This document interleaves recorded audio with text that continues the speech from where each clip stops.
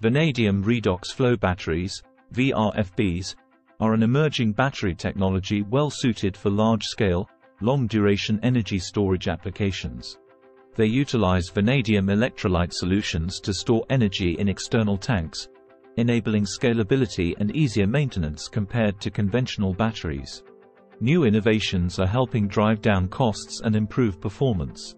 This report provides an overview of VRFB technology, applications, current trends, and future outlook for grid-level energy storage. Technology Overview VRFBs consist of two tanks of vanadium electrolyte separated by a membrane.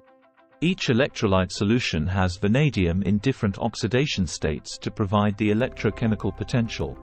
During charging and discharging cycles, the vanadium ions change oxidation states but remain in solution. This allows the system to repeatedly store